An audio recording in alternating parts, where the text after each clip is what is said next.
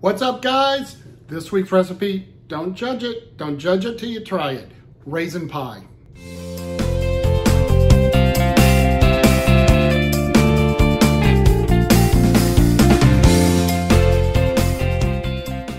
Always have loved raisins.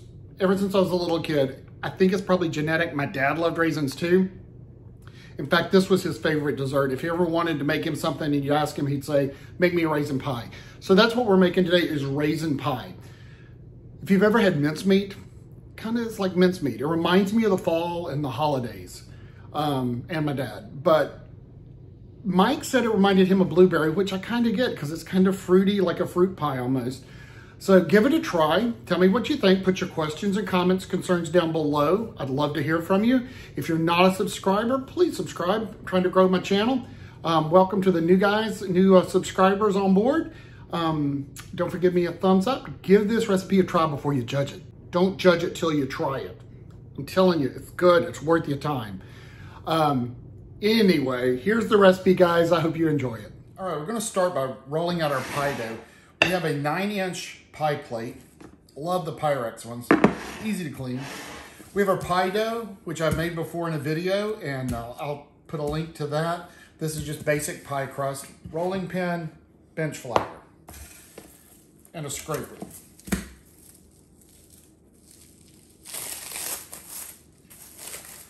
So I've already made this and let this set a little bit in the fridge. Now can find the end.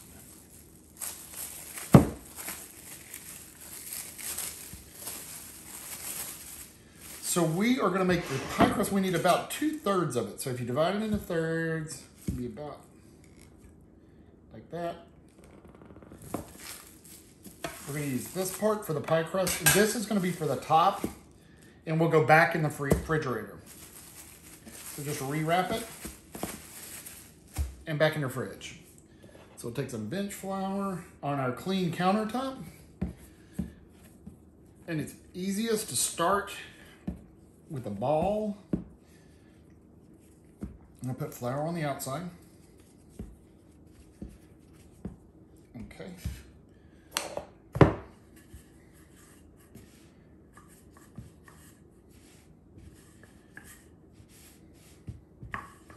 We're just gonna roll this out.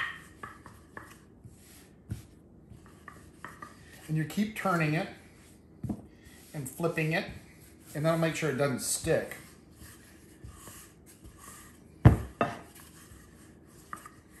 You can see the chunks of butter in there.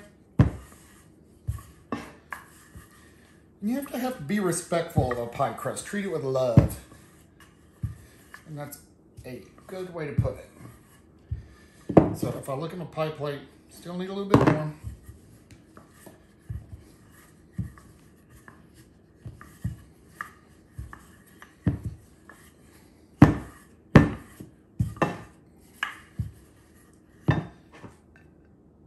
That should be plenty. Now the way to transfer this, take my scraper, kind of flip it. onto your rolling pin.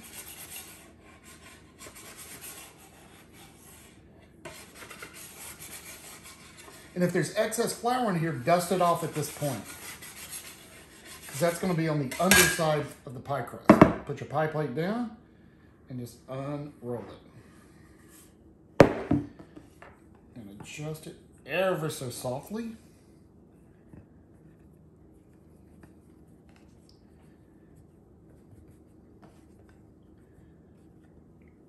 And just make sure it's tucked into the corners.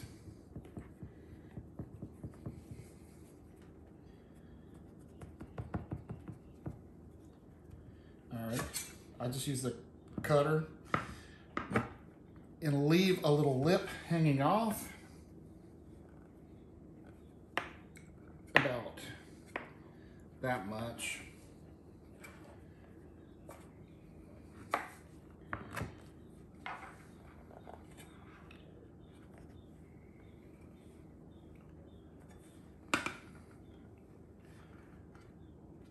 Okay, we're gonna put this to the side. These extra little goodie bits will go into our popping ball. For the time being, I'm gonna stick this back in the fridge. To make the five pie filling, we're gonna use two cups of raisins. Now, if you've got old raisins that are kind of dried up and harder, this is a great place to use these. Put two cups of raisins, two cups of water, put that on and let it boil for five minutes. We're gonna re-plump up the raisins. Make sure they're all in the water. And go ahead and make sure they're broke up too. If there's clumps of raisins, you wanna just break that up. All right, let that boil for five minutes. While your raisins are boiling, we want to combine together one half a cup of brown sugar. I like the dark brown sugar. We're gonna put two tablespoons of cornstarch. We're gonna put about a half a teaspoon to a teaspoon of cinnamon. That's good enough. About a fourth of a teaspoon of salt. Uh, we want to mix this together. Usually when you use cornstarch, starch, you need to make a slurry. And that prevents the cornstarch from clumping. But by mixing it with the brown sugar, that's going to separate the cornstarch and it, you don't need to do that slurry. And you'll see when we put this in the raisins, it will just thicken the raisins up. Make sure all of it's combined. All right, set that to the side. We will also need one tablespoon of white vinegar and one tablespoon of butter. Raisins have been boiling for five minutes. Reduce it to a really low. We're gonna mix in our dry mix and stir that. Keep stirring because that um, cornstarch will set up and it will get thick. And it is doing just that. And you want to just keep that heating until it is thick.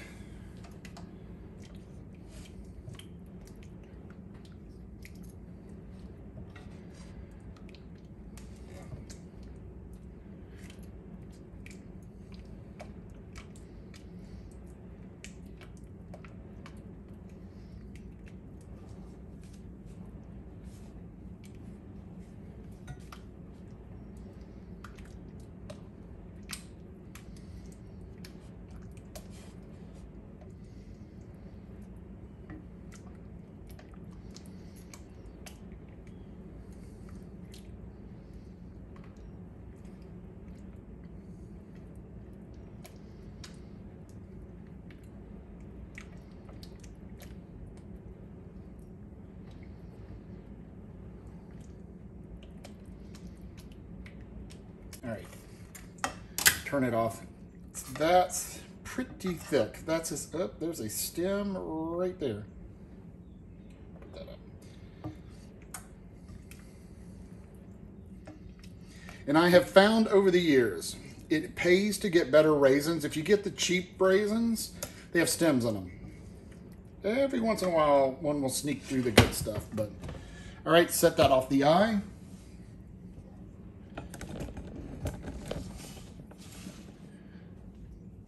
Now into this, we're gonna put our one tablespoon of butter and our one tablespoon of white vinegar and stir that in.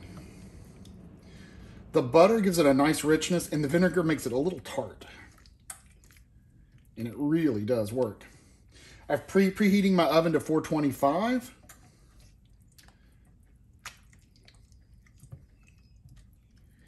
And you just want to stir that until that butter is melted and combined.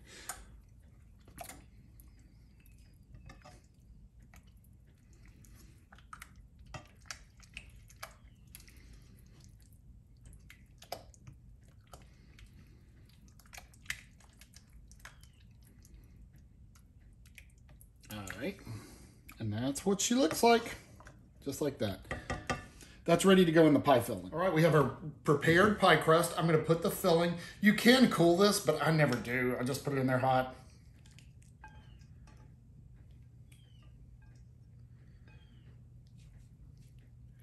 Spread it out.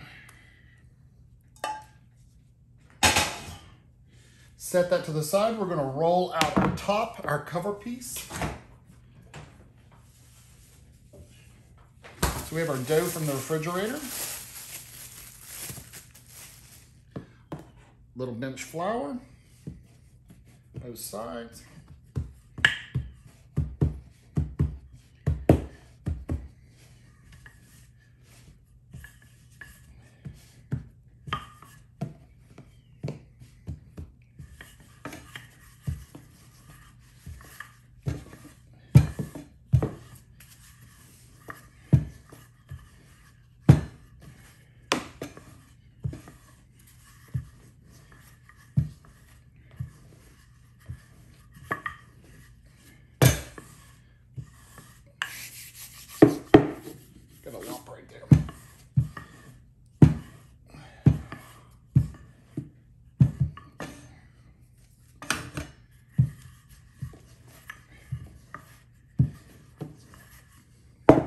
Set your pie to see if it's big enough. And it is. So we'll set that right there. Same procedure to lifting.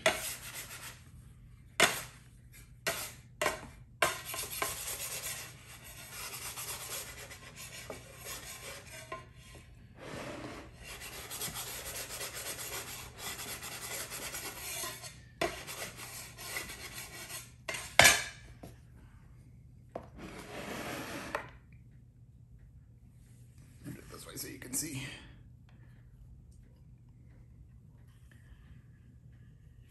Roll it right over the top. Now what I do is I'll kind of lift the edges up and push it. So it's sealing, it's getting dough to dough along the edge.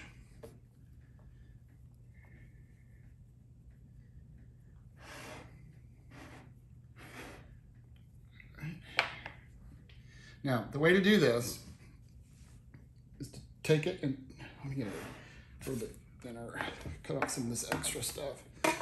You're gonna lift it off the edge and roll it under, just like that.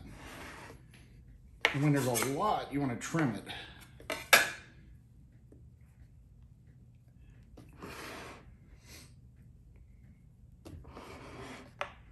See, that's too much.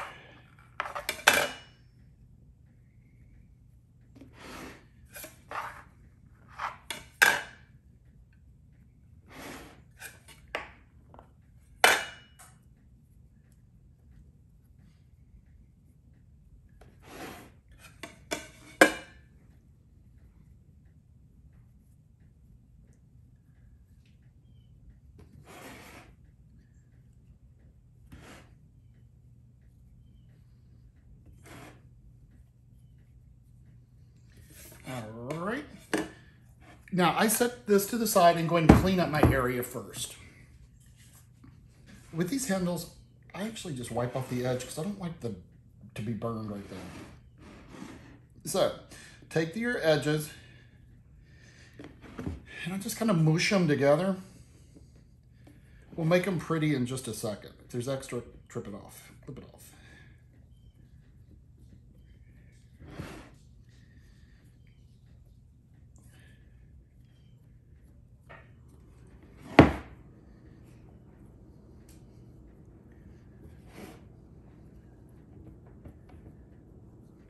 Okay. Clean off that edge. Now, two fingers or one finger and two fingers. Wait, like that.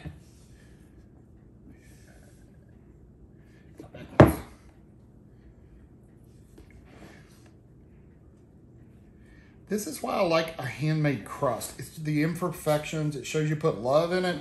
Store-bought crust, I always think they have a weird taste to them. It's like too much lard or something. And it's not that hard to make a handmade crust. And the taste is so much better.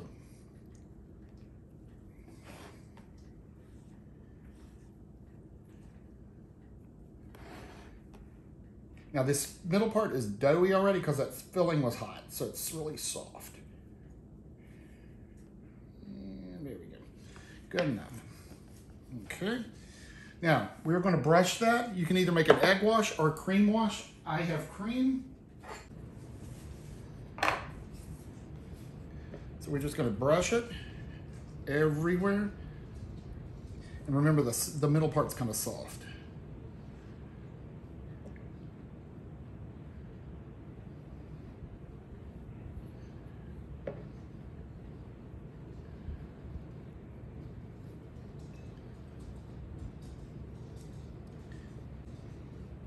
I like these silicone brushes, but man, they're really hard on pastry.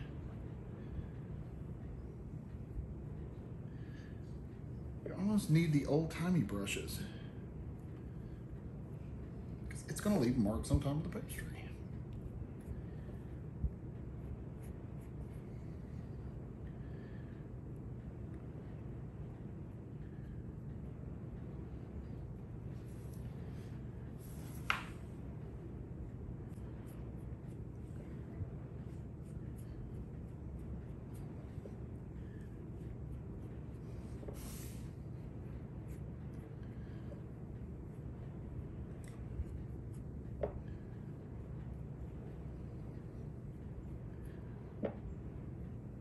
All right, almost done.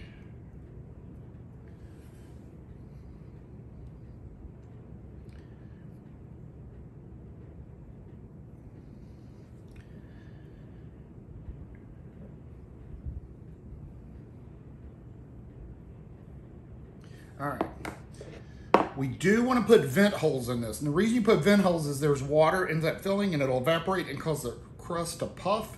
So we're going to put four vent holes, just like broops, broops, broops. Just like that. Make sure they're clear. All right. All right, we're gonna take sugar, just white sugar, and just spread it over the top of the pastry. When we were in North Carolina, we lived in North Carolina, there was a big um, Moravian community in North Carolina, in Winston-Salem. And um, they used to top these pie, their apple pies with this sugar coating. It was so good.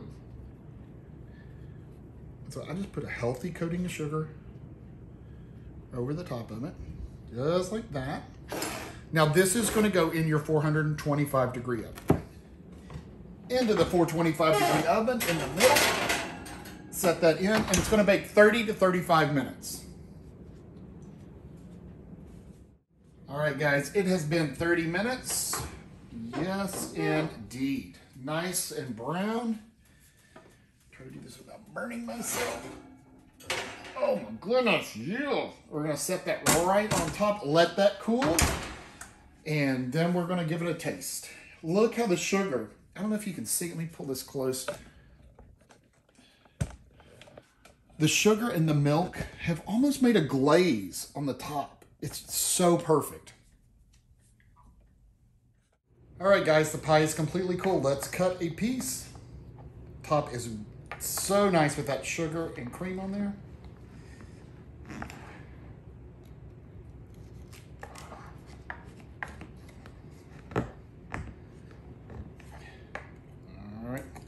Let's see. See if I can do it in one swoop without breaking it. No promises. what? That's two pies in a row. All right, let's give it a taste, guys. All right, time for a taste. So you got the hard, crunchy, almost glazed top with the sugar and the cream on the top. Really love that. The filling really reminds me of mincemeat.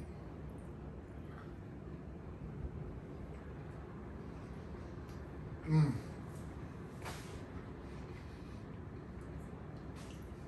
I don't know how to describe it even.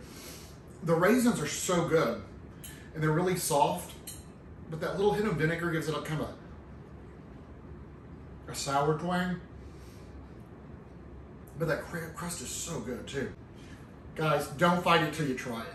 It's a really good pie. You're gonna love it. Thanks for watching. Don't forget to subscribe. Give me a thumbs up. Put your comments down below. You guys have a great week. Be safe out there.